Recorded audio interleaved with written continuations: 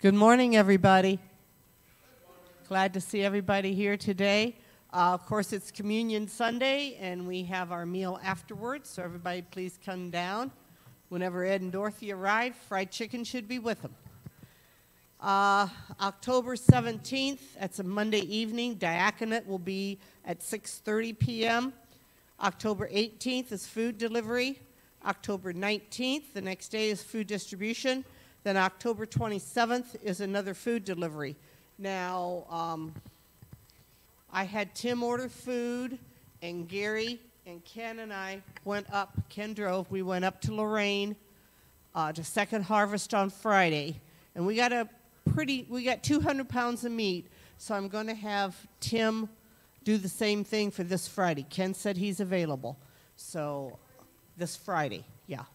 So I'll try to uh, get Tim to get another load in, pretty much like we got, because the canned goods are sure are helping and everything. So we'll just and some of that stuff is free, so um, we'll just go with that. So we'll uh, go ahead with Wanda.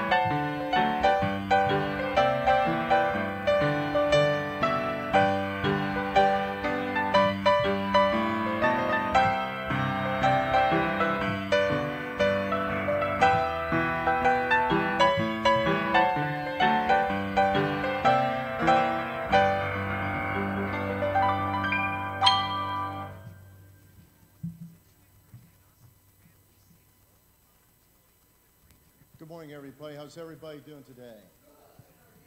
Very good, thank you. What a beautiful. What a beautiful day that the Lord has made. Amen to that. Blessed are the pure in heart, for they will see God. Let's please stand and let's do, recite the Lord's Prayer at this time.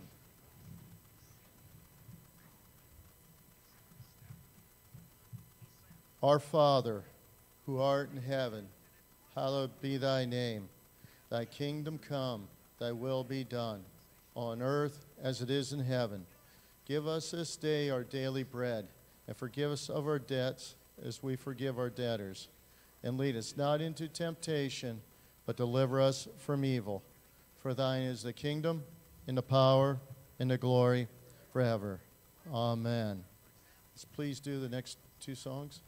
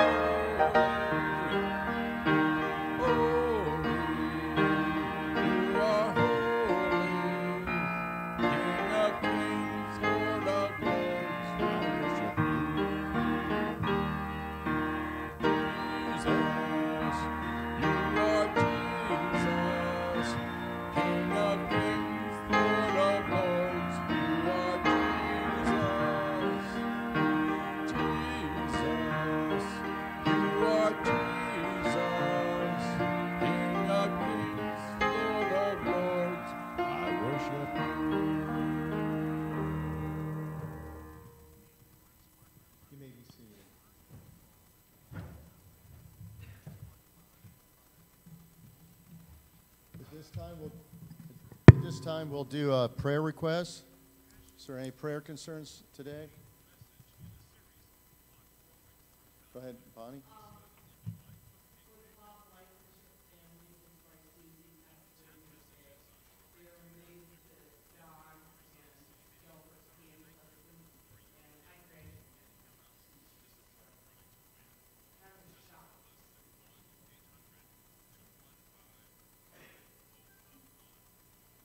And that's the calling hours of funeral that you're going to today. Some of you are going to. Okay, we definitely want to keep Pastor Tim in prayer. Yeah, I feel bad for him. Uh, certainly, everybody misses him. And uh,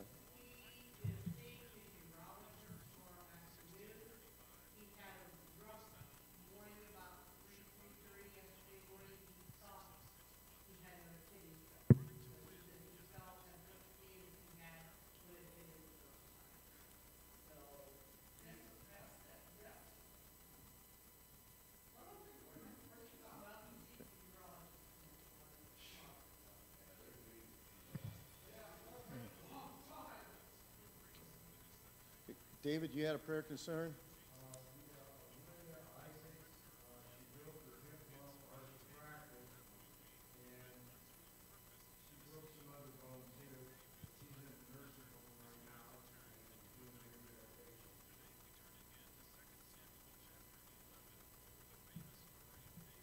Go ahead. Okay, de- most definitely.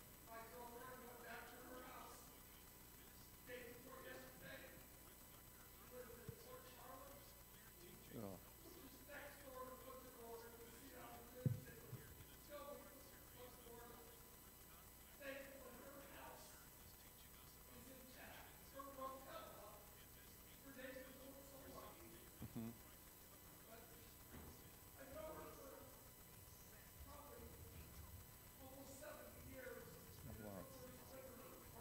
Oh, wow.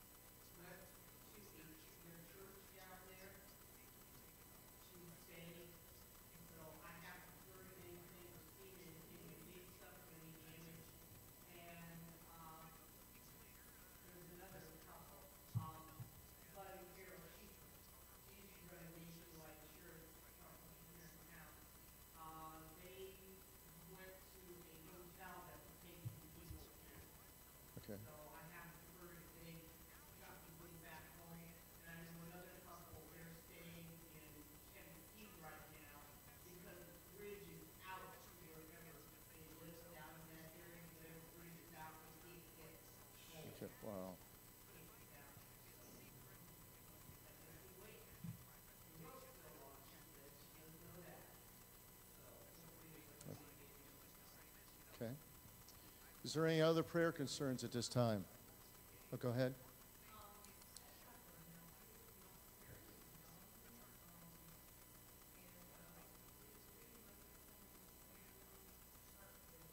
Okay.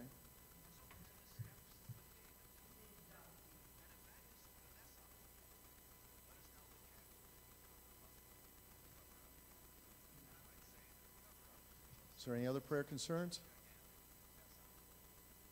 Okay, let's bow our heads let's go to Lord in prayer. Gracious Father, we thank you for this day. We thank you for your presence, for your love and your grace, your mercy. We thank you, Father, how you hear our prayers and how you meet our needs. And Lord, we lift up these prayer requests today and of the Bob Winkenship family with the loss of his wife at past. We just pray for that family. It was mentioned it was a shock. We pray for your comfort upon them, that they would sense your presence, and that they would realize tomorrow will be a day of encouragement because of the resurrection.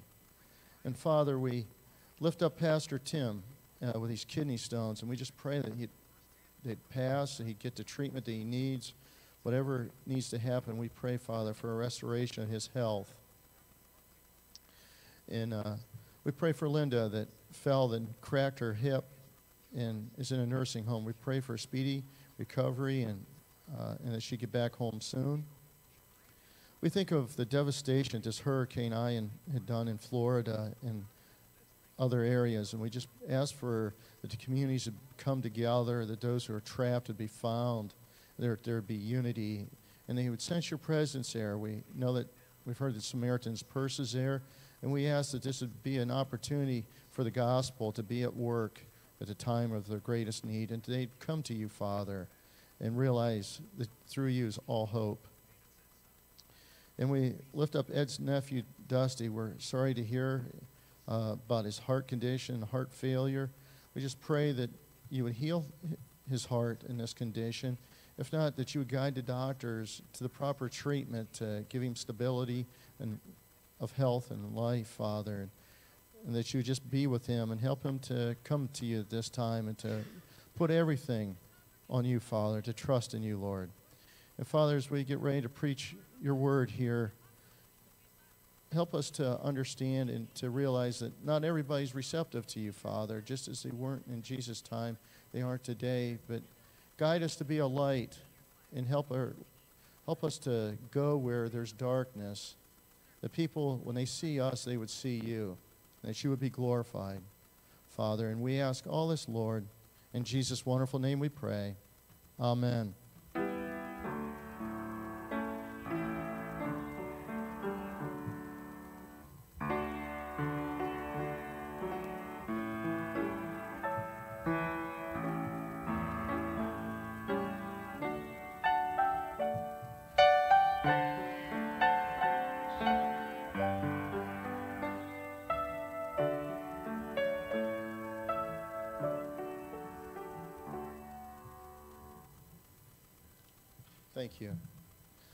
Today's sermon, I've titled it The Bread of Life, Not for Everyone. And, uh, and I got to think about it because it does, Jesus talks about communion here in a, in a way when he talks about his blood, his body, his shed blood. But I got to think about, well, how fitting for Communion Sunday. But as we get into the scriptures today, we will be looking at John chapter 6 here shortly.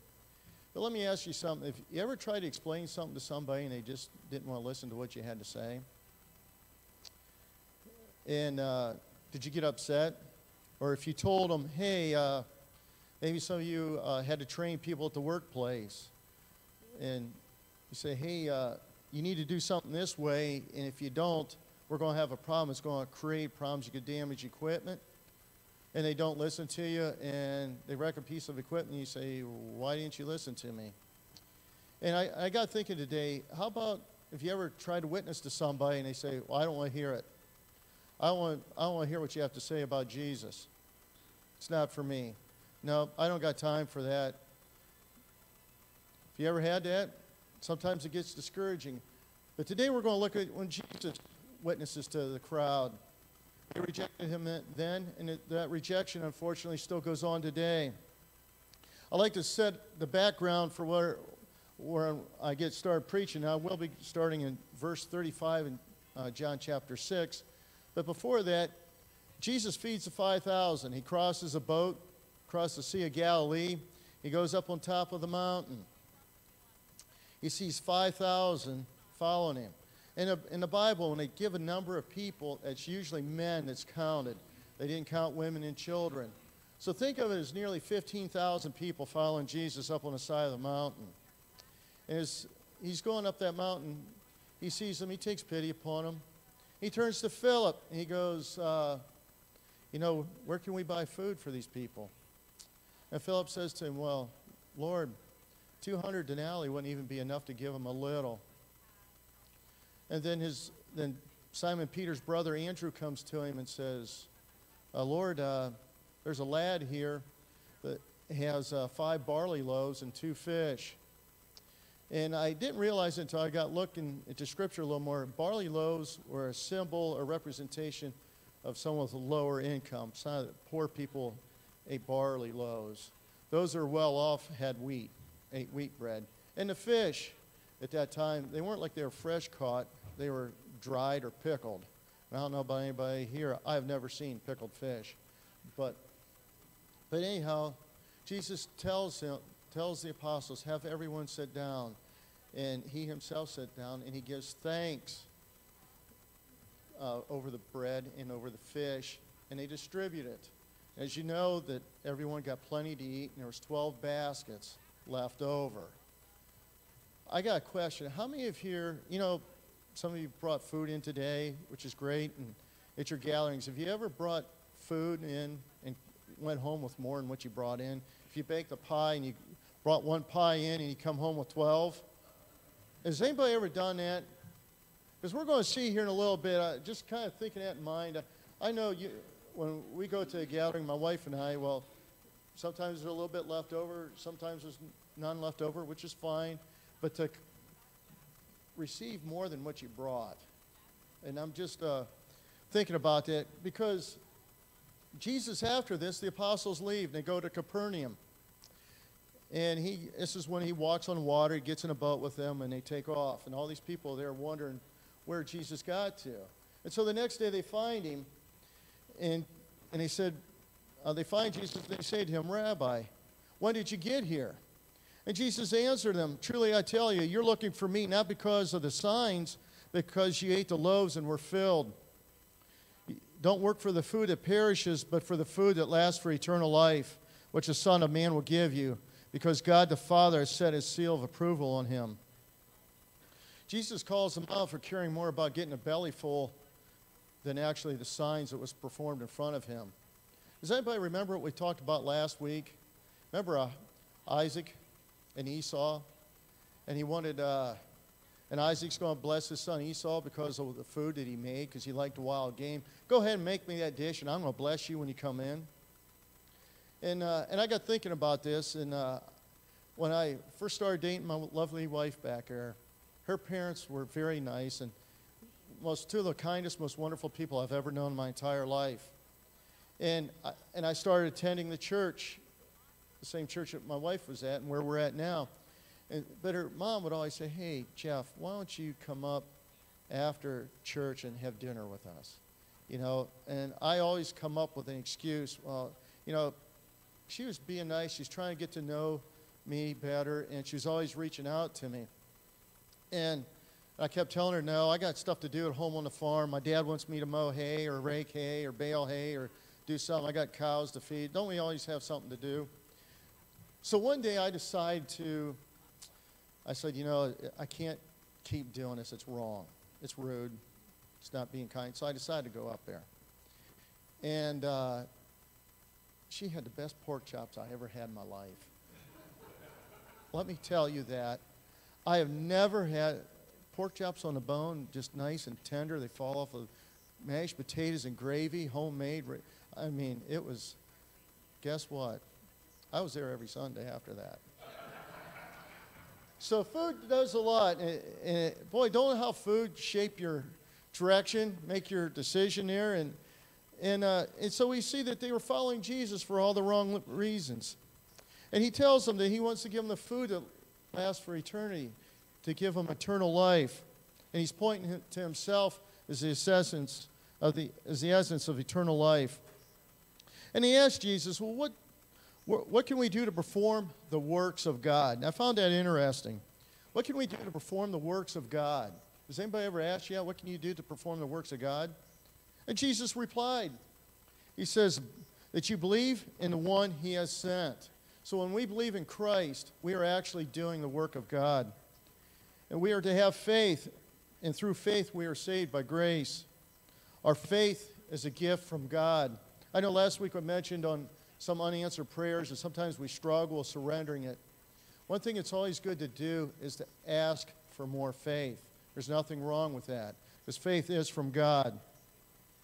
And so then, as I mentioned earlier, they asked for Jesus for a sign. And I'm like, well, what did they do with the 12 baskets that were left over? You know, you got fed yesterday, and now you had 12 baskets left over.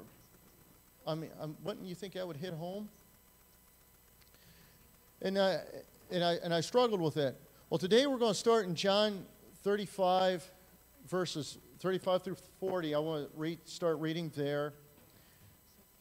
And, uh, and then Jesus declared, I am the bread of life, and he who comes to me will never go hungry, and he who believes in me will never be thirsty. But as I told you, you have seen me, and still you do not believe.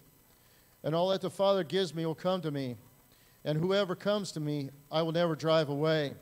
For I have come down from heaven, not to do my will, but to do the will of him who sent me. And this is the will of him who sent me, that I shall lose none of all that he has given me, but raise them up on the last day. For my Father, for my Father's will is that everyone who looks to the Son and believes in him shall have eternal life, and I will raise him up on the last day. See, this passage reveals to us the stages of Christian life. We see Jesus in the New Testament scriptures and even in the teaching of the church. And having seen Jesus, we come to him. And we see him as someone who's approachable and accessible. And then we believe in him. And this belief is a total surrender of our lives, as we talked last week submission. And we become a new creation in Christ. And none of us can come to Christ unless the Father calls us. Isn't that amazing and wonderful thing?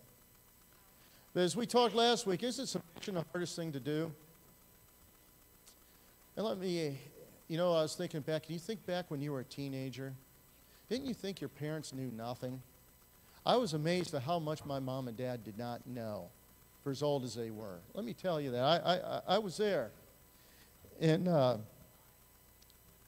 and by the time I hit my 20s, and by the time I was 30, even in my 50s, I realized how much I don't know. No searching of the human mind and heart can fully find God unless it's through Jesus. A great commentator once said, Christ brings us to the haven beyond which there's no danger.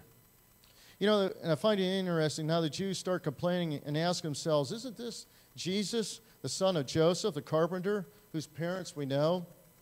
How can he say he came down from heaven? And they didn't recognize the virgin birth, they forgot about it. See, they thought they knew who he was, and therefore, how can he say he's the Son of God? They started judging him. And they were looking at his outward appearance and not seeing him for who he really was. They were seeing him as a mere carpenter's son who performed a few miracles. I got a question I'd like to ask.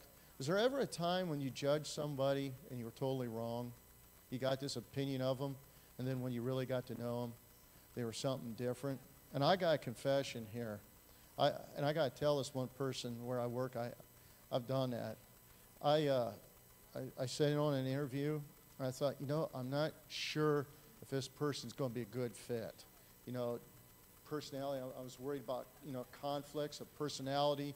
You think, oh boy, if I'm working with somebody every day, and if, especially if we don't get along, it's not making going to work very pleasant. But I was totally wrong with this man. He does whatever I ask him to do. I, if I tell him, hey, I'm going to go over here and I'm just going to be doing this, putting a plate in a, a control box and wiring up a transmitter. So uh, that's where I'm at if you need me. I'll turn around, I'll have my plate in there, I'll turn around, he's standing right there next to me. What can I do to help you? You know, he's been very gracious and kind. And, uh, and while I was doing, re- researching this, I come up with a story about someone misjudging someone else. Uh, does anybody know the name Thomas Edward Lawrence? You might have heard the name T.E. Lawrence. I didn't know the name either, so don't feel bad. Uh, and he was a British archaeologist. He was an army officer, a diplomat, and a writer. And he became known, known for being in different battles. He served in, like in World War I. Well, he had a friend of his whose name was Thomas Hardy, who was a novelist and a poet, you know, over in England. He was, and uh, Lawrence would go over and visit him all the time, visit Hardy and his wife. And, well, one day, this mayoress of Dorchester was there. And she was either the mayor of the town or married to the mayor, was there. And she was kind of like high society, but she didn't know who Lawrence really was. You know, because when he showed up, he just showed up in his regular aircraft uniform. He was actually a colonel, but he didn't dress lavish. He just showed up and looked at him as being somebody ordinary. And so, as she's sitting there, she sat down and, uh, and she said to Hardy's wife, and she spoke in French because she didn't think uh, Lawrence would understand French. And she says, uh, never in all her born days had she set, had to sit down to a tea with a private soldier. She was insulted. And then Lawrence spoke to her in perfect French and said, uh, I beg your pardon, madam. Uh, can I be any use of as an interpreter? Because Mrs. Hardy doesn't know French. And uh, she made a, a shattering mistake, kind of judging Lawrence uh, for who he was, who she thought he was.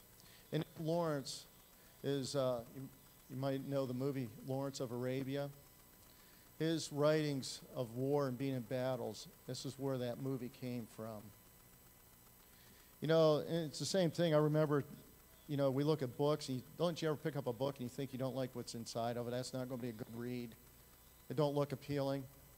My wife at one time had this book that her cousin given. It's called Rewired. True story. It was about an artificial arm uh, that this woman got put on. But once I, she kept after me to read, and I said, I don't got time. It don't look interesting. I, and once I opened the cover, I found out it was so I couldn't put it down. But that's what I misjudged it. And these Jews this time were misjudging Jesus. They thought they knew him when they actually didn't. I'd like to wrap up my scripture and reading. I'd like to turn to John 47 through uh, 59, still in chapter 6. And I just find it interesting. Uh, Jesus, you're going to see a repetition of bread in here, how many times Jesus talks to them. And he says, I tell you the truth, he who believes has everlasting life. I am the bread of life. Your forefathers ate the manna in the desert, yet they died. But there is a bread that comes down from heaven, which a man may eat and not die. I am the living bread that came down from heaven. If anyone eats of this bread, he will live forever. This bread is my flesh, which I give for the life of the world. And then the Jews began to argue sharply amongst themselves How can this man give us his flesh to eat? And Jesus said to them, I tell you the truth, unless you eat the flesh of the Son of Man and drink his blood, you have no life in you. Whoever eats my flesh and drinks my blood has eternal life, and I'll raise him up on the last day. For my flesh is the real food, and my blood is the real drink. Whoever eats my flesh and drinks my blood remains in me, and I in him. And just as the living Father sent me, I live because of the Father. So the one who feeds on me will live because of me. This is the forefathers ate. Uh, this is the bread that came down from heaven. Your forefathers ate the manna and died, but he who feeds on this bread will live forever. And he said this while teaching in the synagogue of Capernaum. Why do you think he said he had to eat of my flesh and drink of my blood? You know, when I first read that, I thought, he's wanting to drive them away. He knew they weren't there for the right reasons. He said that from the get go. So why would he say? Is he trying to drive them away? But in all reality, at that time, they were used to pagan worship where they would sacrifice an animal on the altar, but part of what was remained left, uh, the priest and those who were there, there were worshiping it, and they would get to eat of that. And he was saying, You have to really understand me and want me as bad as you want that in order to have eternal life. He wasn't saying physically eat me and drink of my blood, but he was saying is the way you partake of that and how you're into that is what you got to be in my relationship with me. And it is difficult to understand because you're thinking, how gross is this? And I used to think that. Why would he even say such a thing? But he kept reiterating blood, the blood and the bread over and over this. And I was looking at some of these verses here from verse 31 through 59. He reiterates the word bread 14 times. He's saying, You need to have a relationship with me. I am more important than this sacrifice that you're doing, that you go to. And because he thought that they would uh, connect better, is why he used what we might think is gross today. It's a difficult thing, but he tried very hard to get them to understand. I used to think he wanted to drive them away, but that was not the case. He told them over and over and over again. Unfortunately, they, many of them desert Jesus after this. It says many of his followers left. And even the apostles said, This is difficult to take. And Jesus says, Well, do you want to leave? And he goes, Where are we going to go? We know you're the Holy One of God. They understood it more than the rest. But isn't it difficult?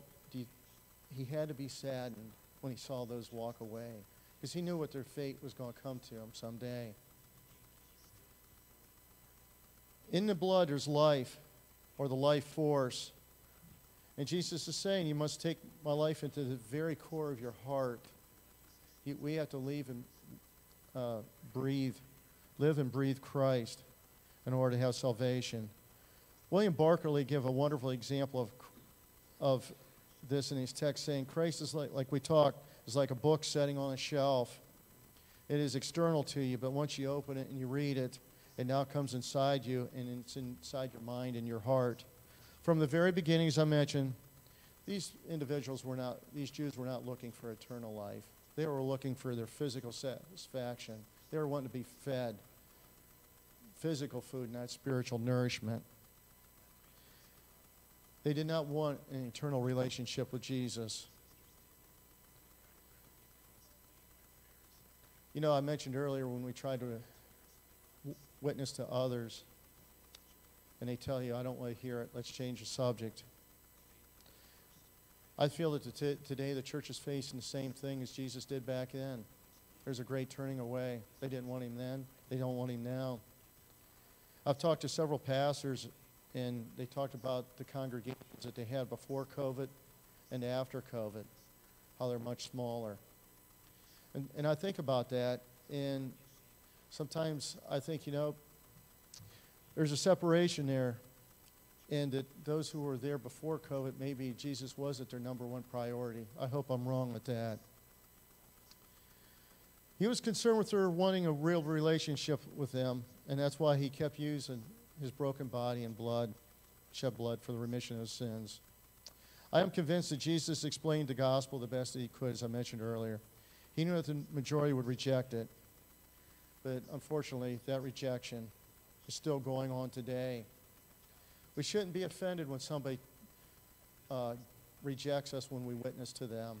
I oftentimes like to cite uh, Romans 10, verses 9 and 10. I used to do a challenge with our youth group. I'd say, all right, somebody's dying. You got 60 seconds to talk to them about Christ. What would you say? And they would look at me, well, don't put this on me right now, Jeff. And, uh, or they do the fun thing you may never heard of, the nose goes, where they touch their nose. So who's the last one touch the nose? Hey, you got to go first. Never heard that. I didn't know it either until I got the teens. I taught the youth group here for some years. I'm still doing it. I think I was the one that got taught. But when I witnessed to somebody, I was witnessing one man one day, and I says, uh, I said, for in the Bible it says, if you confess Jesus as Lord and believe in your heart that God raised him from the dead, you'll be saved. And he looked at me and he goes, Jeff, it's not that simple. I says, well, why are you making it harder than what it already is? We don't need to do that. We keep it simple.